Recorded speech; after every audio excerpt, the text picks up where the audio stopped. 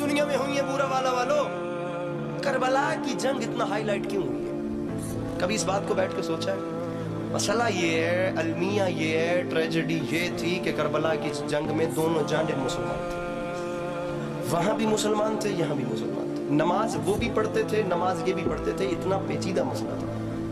अब देखना ये है कि जो एजेंडा सरकार रिसालत इमाम वसल्लम का था, उस पॉलिसी के ऊपर, उस नज़रिए के ऊपर चल कौन रहा था? हुसैन या यजीद? सिर्फ़ इतना देखिए हुसैन उस राह पे चल रहे हैं, या यजीद उस राह पे चल रहे हैं? यही तो वजह थी, वरना हाथ पे हाथ रखना कौन सा मुश्किल काम था? ये हाथ है, उस पे हाथ रखना। बैत कौन सा मुश्किल काम था? खुदा की कसम, जमाने ने यही तो नहीं समझा कि वो सिर्फ़ बैत नहीं थी। कभी आप वो पर्चा पढ़े ना, जिस पे यजीद ने इस्लाम की नई शराइ लिख कर भेजी थी तो खुदा की कसम आपके रोंगटे खड़े अब मंबर की तहजीब गवार ही नहीं करती कि मैं वो वो लफ्ज़ बोलूँ जो इस्लाम में उसने चेंजिंग्स की थी।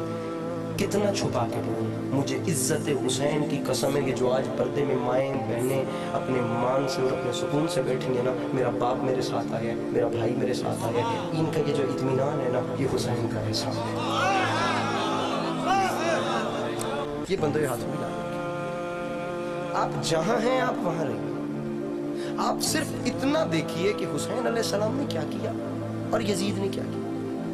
बैत सिर्फ़ बैत नहीं होती। मेरे अहले सुन्नत भाई जो तशरीफ़ फरमाए, मैं आपको क्लियर करता चलूँ, ये हाथ पे हाथ रखने का मतलब होता है, आज के बाद ये जो जिस्म है ना, इस जिस्म की कायनात तेरे सपुर्द है।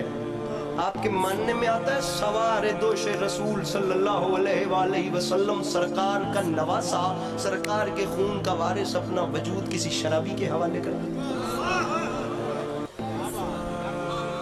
ओ मेरे सामने, ओ मेरे सामने। अरे करबला के एजेंडे को समझिए। कि आखिर करबला थी। जम हो जाए। गोल दें अपने आप को, खुदा की कसम।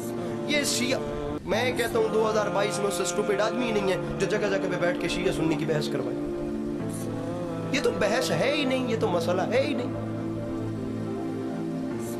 नज़रिया लेकर चलें कि हुसैन का नज़रिया क्या था? और नज़रिया देखें कि उसका नज़रिया क्या था? आपके सामने बात खुलकर आ जाए। बैत सिर्फ़ बैत